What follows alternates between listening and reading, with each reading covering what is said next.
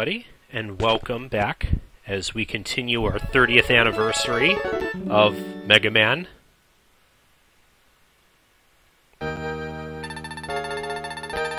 In the year 21XX, all of the Mavericks have been neutralized thanks to the efforts of a Reploid scientist named Dr. Doppler. Using his neurocomputer, he's been able to suppress any abnormal behavior in the Reploids and prevent them from going berserk. Oh, how nice. Many of the most advanced Reploids have gathered near their new mentor and founded Doppler Town, a perfect utopian community. With Dr. Doppler guiding them, the world seemed ready to enter a new golden age. But this would be a pretty short game if if that happens, so you know it's all going to go to shit after just a few months.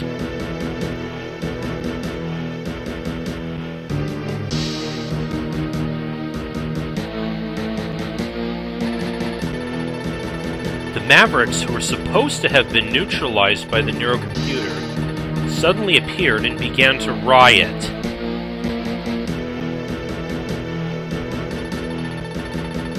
At Maverick Hunter headquarters, all of the intelligence indicated that Dr. Doppler was the mastermind behind the invasion.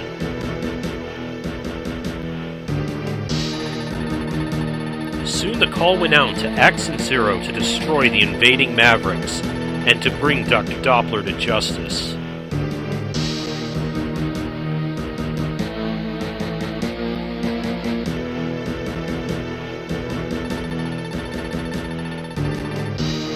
Maverick X and Zero dispatch.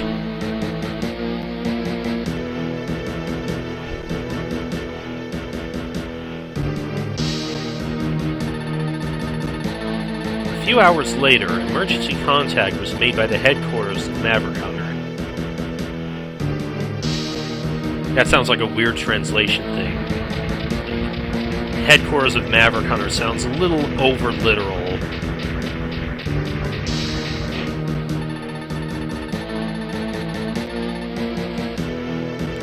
The headquarters of Maverick Hunter, again.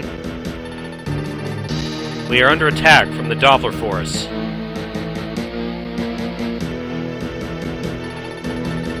All units return to base immediately and return fire.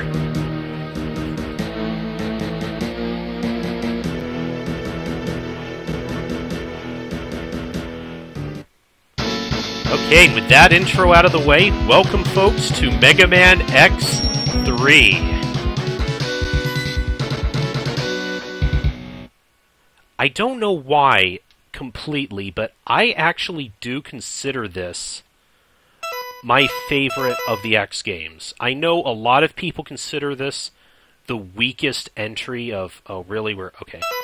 A lot of people tend to consider this the weakest entry of the. Uh, of the original SNES trilogy, but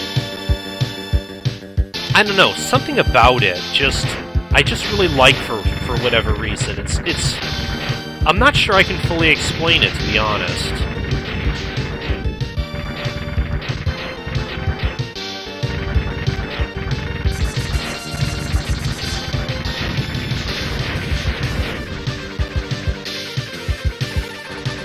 X, I'll clear out the enemies out here. You go ahead and deal with the ones inside. Alright, here we go. So, this game came out relatively late in the Super NES's uh, lifespan, and was also, I think maybe as a result of this, it also received a, um, a version on the PlayStation although we never I don't think we ever we didn't initially get it in North America. Only in Japan, only Japan and Europe got it. Um, we did eventually get it as part of the uh, Mega Man X collection for the PS2, though. That version. Oh, hold up. Mac, where have you been?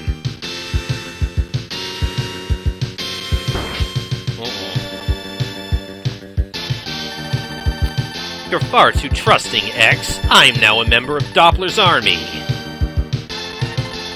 You'll make a fine addition to our forces once you've shown the true destiny of the Reploid race.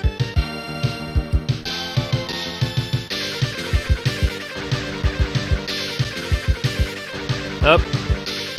Game over. Thanks for watching, everybody. Oh, never mind. Okay, so this is a neat little addition of this game. Is this is the first game that enables you to play as Zero? He has mostly the same, similar abilities to X, although he has his Buster. He starts off with a lot more abilities than X, as well as a higher life bar Plus, he has that. He has that awesome uh, lightsaber, which happens if you charge up till he flashes green. He gets like he gets the uh, double charge shot like from X2, and then the sword. It's pretty damn awesome. Unfortunately, you well you will be able to call Zero to play as during the, the other levels as well, but there is a big drawback, which I'll be talking about momentarily. But for right now, let's let's take care of Mackie Boy here.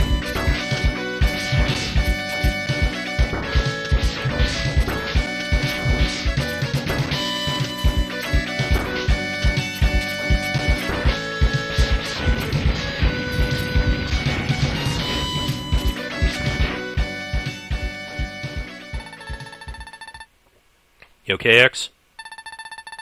Thanks, Zero. I'm okay. I'll check around headquarters again. Be on your guard, X.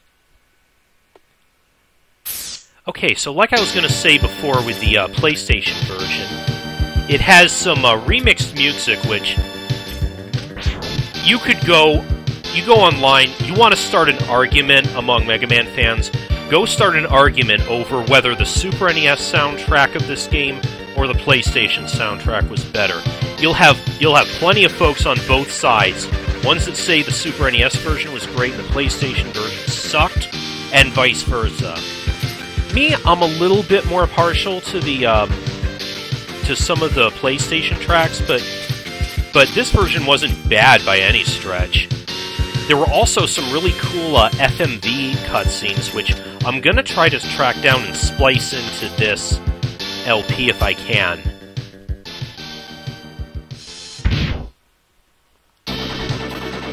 So under our first boss, he's really similar to the one from X2. Looks big and imposing, but he's otherwise not terribly difficult. About the only thing he does is he he breaks the ground, which there's there's enough of it there which we don't really have to worry about like say falling down through the through the floor. It can be hard to tell it's hard to tell which side he's going to shoot from, but notice he doesn't he barely does any damage, so it's a complete non-issue.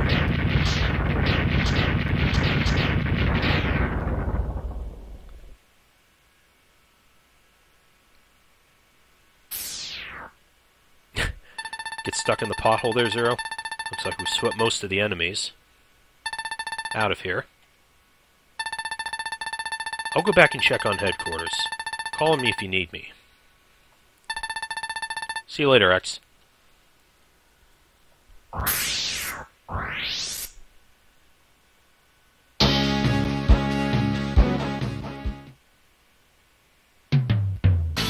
Alright, now once again, we got the old stage select here. Eight new Mavericks. We got we got Blast Hornet, Blizzard Buffalo, Gravity Beetle, Toxic Seahorse, Neon Tiger, um, Tunnel Rhino, Crush Crawfish, and Volt Catfish. Might be another reason I like this game. I did think I did think the Maverick designs for this were really cool. Anyways, one thing I do notice is a lot of the Maverick fights in this game feel a lot harder than they were in most of the other the other games, it, it was a lot harder for me to get a good foothold on somebody, but I think the best one to go for first is going to be um, Blizzard Buffalo here.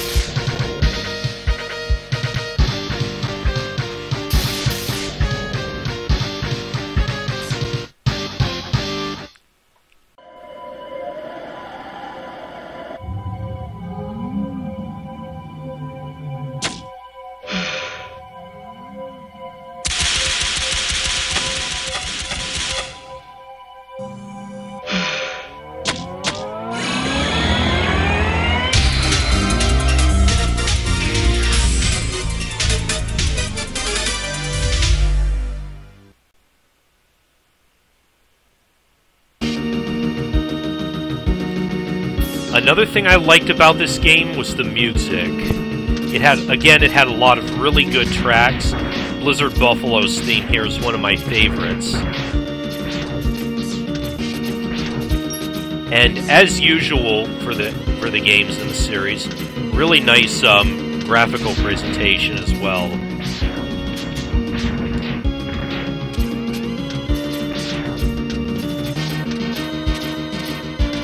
The ground here is slippery, so you gotta be careful of that.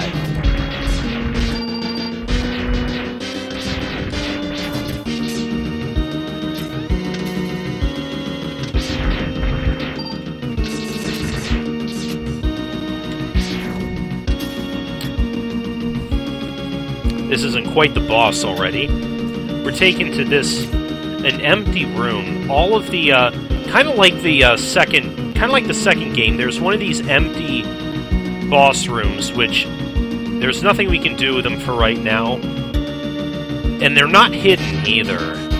Again, the reason for this will become apparent later on.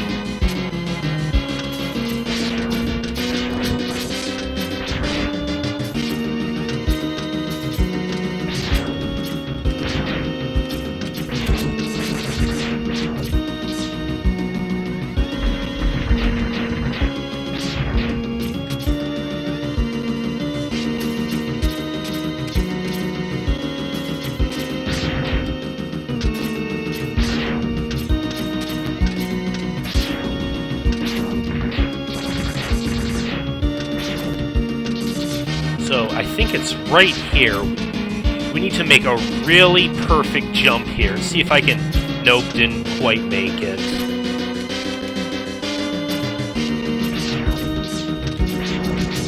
Slippery ground here once again makes this getting past him difficult. Really?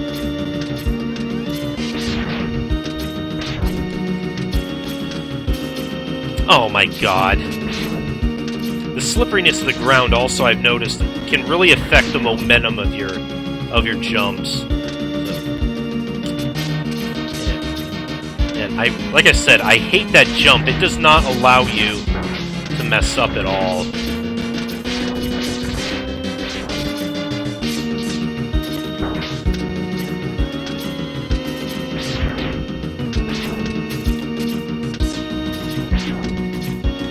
There we go, made it. We got our first Dr. Light capsule. Another good reason for coming here first. Enter this capsule, X. Take this leg upgrade. The upgrade will enhance your mobility in the air. You will be able to dash left, right, or even straight up into the air. So it's kind of similar to the upgrade from X2, that lets us do a midair dash. But it also includes, yeah, you can you can do a dash straight up, which is kind of cool. So that increases your midair mobility even more. Oops.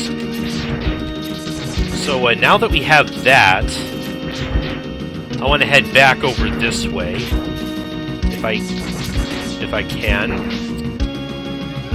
Like I said,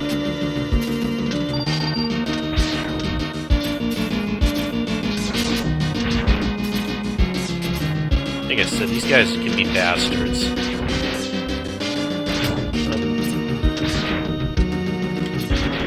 Okay, now we want to try...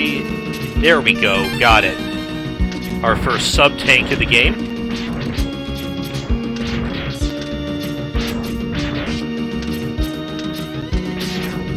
And I have a feeling we will definitely be needing it.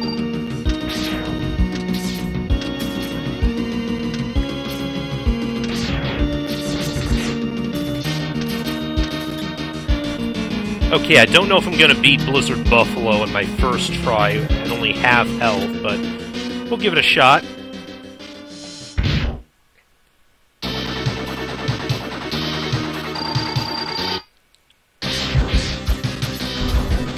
Now, as we get, like I said, I really like the boss designs, but unfortunately, we get into a bit of a my biggest my biggest problem with this game is a lot of the boss fights, despite despite the potential I felt they had, all a lot of them do is dash back and forth like this. He might he might stop to do some attacks once in a while. I'm surprised I've gotten this far. Okay, oh, there he goes.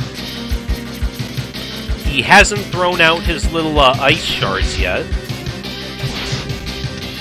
Oh, there he goes.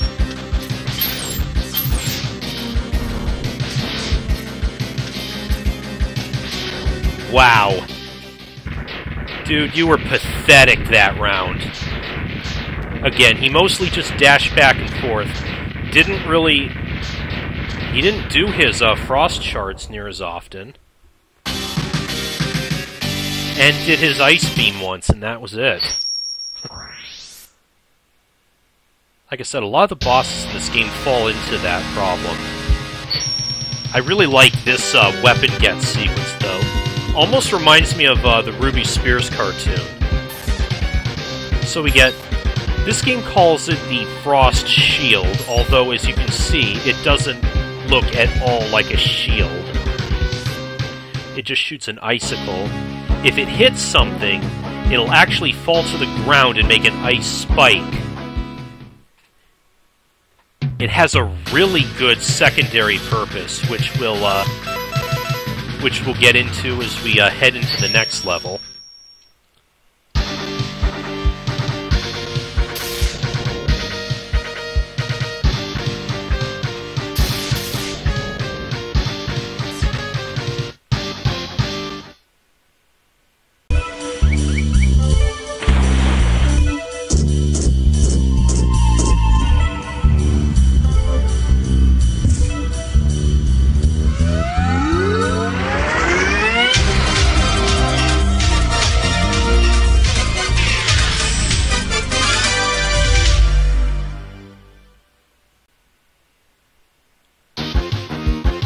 Toxic Seahorse has another of my favorite uh, themes from this game.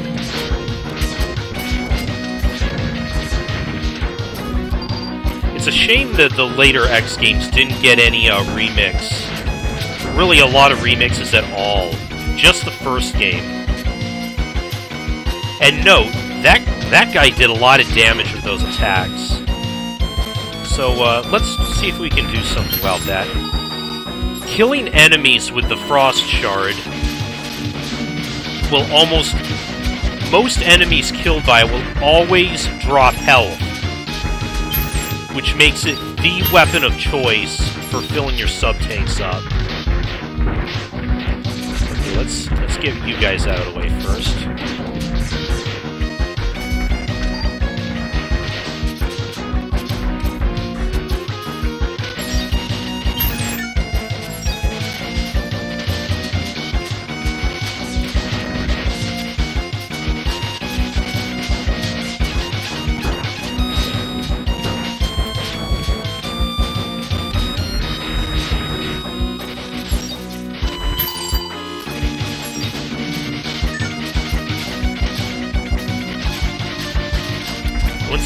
here, just keep climbing, and there's our heart tank for this level.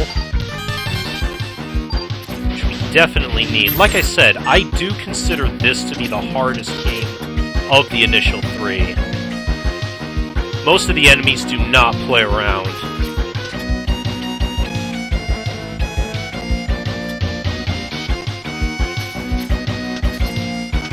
Now over here we have this unusual platform. There's nothing we can do with it for right now, but those will come into play a little bit later as well. Another neat little attention to detail, use the frost shield underwater, and the, the shards it makes are actually, they're noticeably bigger when you use them underwater. Again, I thought that was a neat little uh, attention to detail.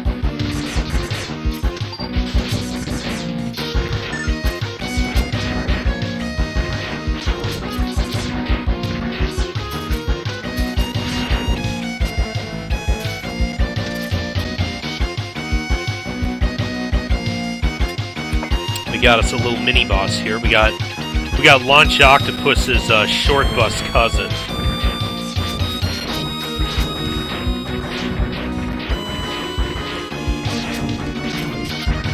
Not a whole lot of pretty easy mini boss though.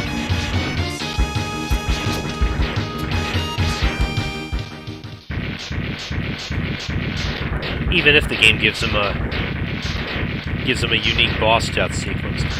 Oh yeah, while I'm at it, while it's still in my head, um, another thing we should do here, once we get through here,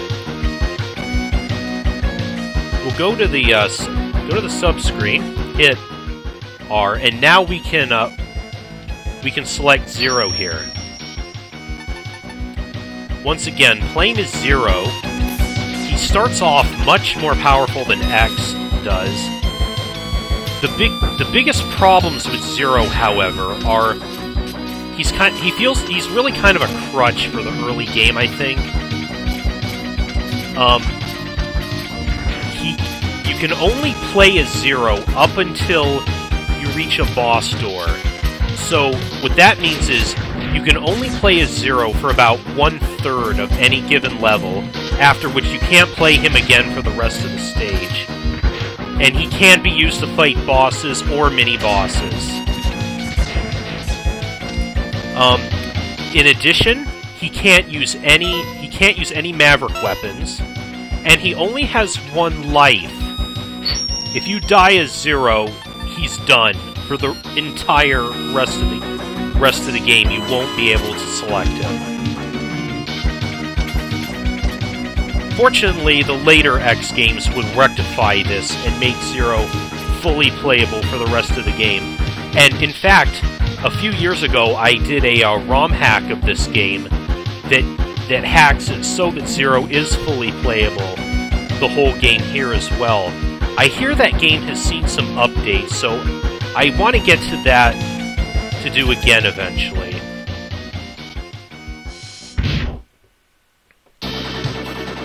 Anyways, Toxic Seahorse. Um, again, jumps around. If we if we do shoot him with his weakness, he'll mostly just bounce back and forth. He shoots those these little acid bubbles, which which can can be kind of difficult. You gotta watch out for those. Oh, Okay, when, once his health gets down low enough, he then starts, he spits out these, those bubbles that bounce along the ground. And then he also melts into the floor. And, which you can't hurt him during that period.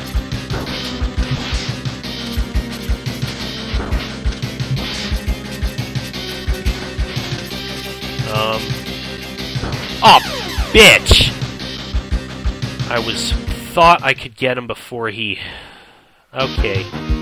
That was my fault. I spent too much time dicking around with him rather than actually fight him seriously, in which case is usually a bad idea for the bosses in this game anyways, because they deal a lot, they deal so much damage from just about everything. Like I said, normally it can be hard to get to get a foothold for that reason. Because they are so difficult to beat without any, uh, any upgrades. Okay.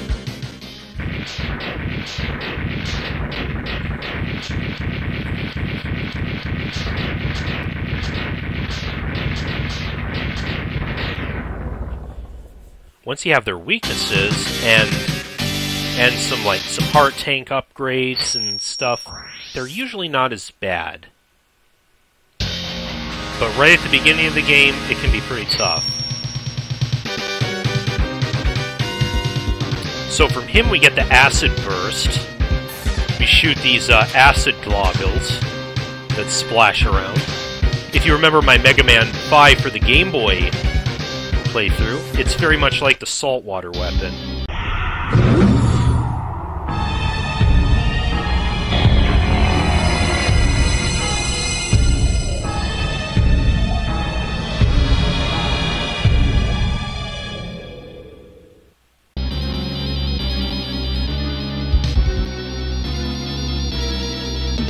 Oh, but now we get us a cutscene.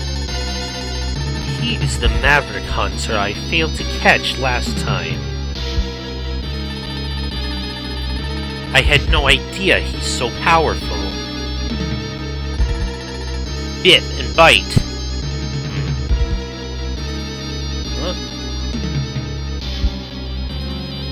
We got hit. We got Doppler's little mini boss squad. Bit and Byte. Also, I've heard them referred to as the Nightmare Police. Bring that Maverick Hunter to me, alive if possible. Affirmative, Dr. Doppler.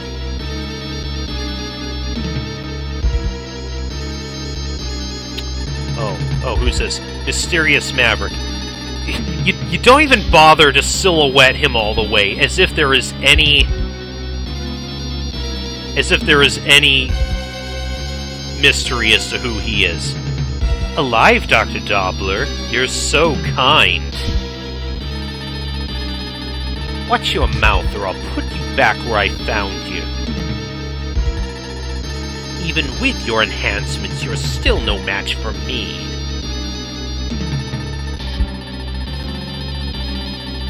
Thanks for the upgrade, Doctor, but I got a score to settle. And I'll do it my way.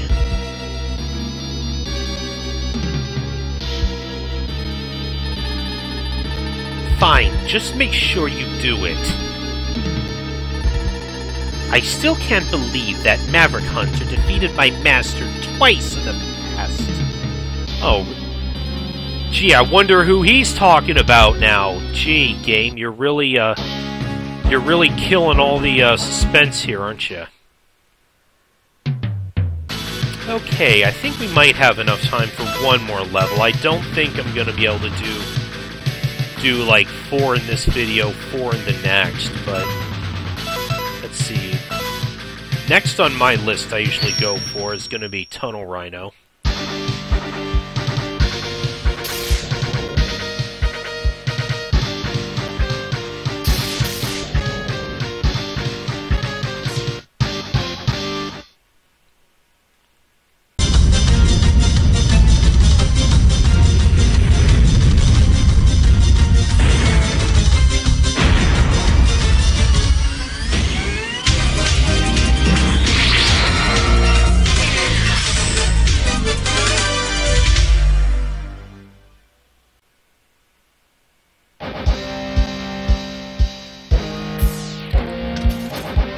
Poor Tunnel Rhino. He gets he kind of gets the short end of the stick as far as uh, as far as his stage mute is concerned. A lot of people really did not like his music. It is this one drones on pretty repetitively, not anywhere near as as interesting as most of the others. Over here, there's our heart tank, but there's nothing we can do about that rock in the way. Just yet, anyway.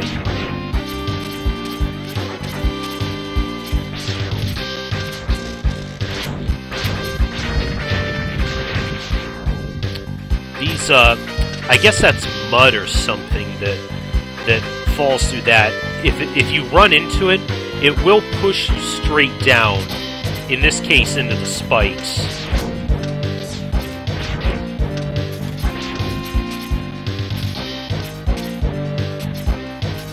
Just like that.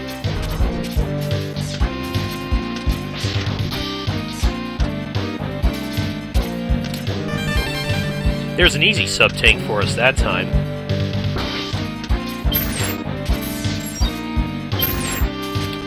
I guess you don't drop any health. Okay, let's see if we get lucky or unlucky. Unlucky. Damn it. Welcome, X. I'm Bit. I have my orders. You are to be destroyed. Okay, so we have to fight one of the Nightmare Police already, and he trying to fight him this early can be extremely tough to do. Especially, well, you always fight Bit first, no matter what. There, there'll always each level there will be a chance of either Bit, a Bit or Byte appearing in one of these rooms. Okay, I think I've got him in a pretty good... Maybe? Okay, come on. I think... Do we have him locked in a pretty good pattern?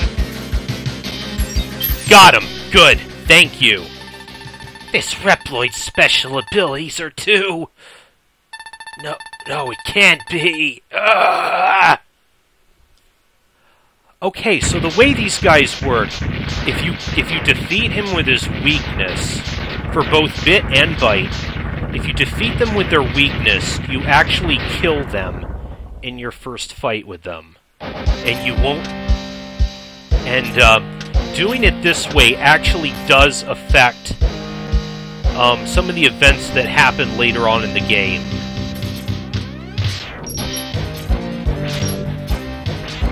Which I'll explain more of once we, uh, once we actually get to that part.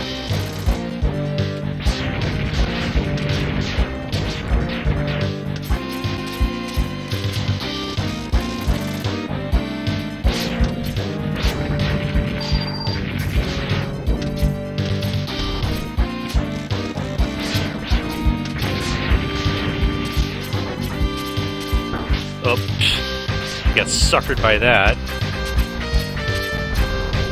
Another rock in the way. Another one we'll have to keep in mind for later.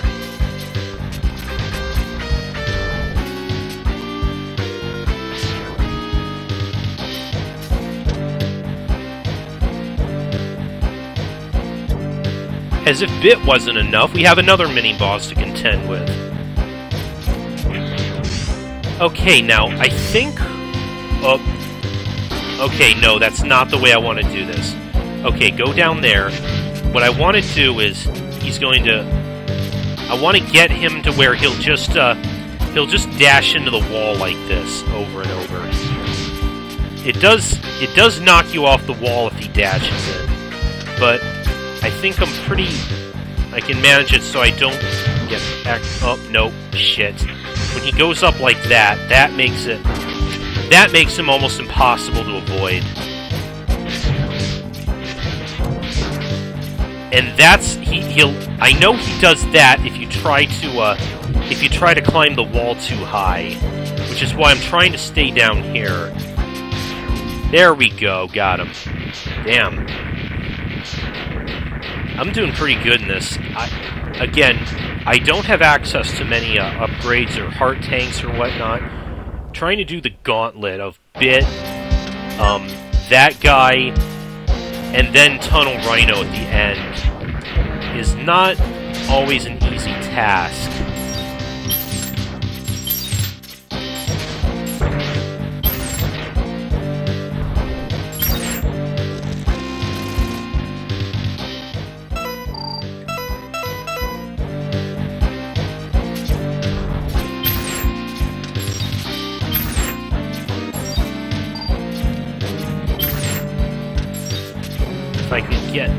Get some of these guys to drop health.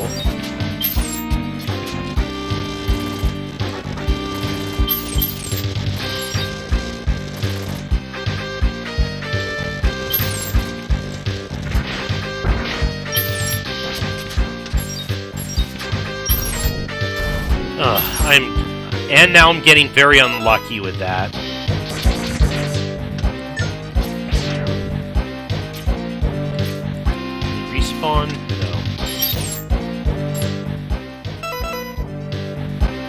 Wait, I should, uh... Can I... Can I get... Can I get some kills with the Acid Burst? I think... I think enemies that you kill with the Acid Burst will always drop weapon energy. Although... Shit. I'm not sure it's quite as reliable. Okay, at least I made it to Tunnel Rhino this time.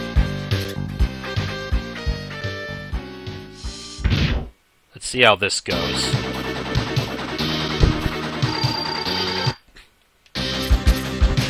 Oh, once, yeah, oh yeah, right. Once again, he shakes the wall when he dashes into it, so... So trying to... Just sitting there and hugging the wall isn't gonna work. And as you can see, he's another one of those bosses that mostly just dashes back and forth. Sometimes he'll do that, where he'll, uh, he'll go invincible. Okay, and now that's... Kudos to that. Sometimes, sometimes he'll fake out like that and go the other way. He is not using his... Was on to you that time. Oh, got him. Okay. I wasn't gonna toy around with him and wait for him to actually uh, use his, like his uh, Tornado Fang or anything like that, because since I was almost dead. And again, that's that is pretty clever there, having him like fake you out like that. So from him we got the Tornado Fang. We shoot like a like a little drill missile. It can uh it does it basically does continuous damage on enemies it hits, but the main reason for getting it is it can break through certain walls, which will definitely be useful. Anyways, I think this is a good place to call it.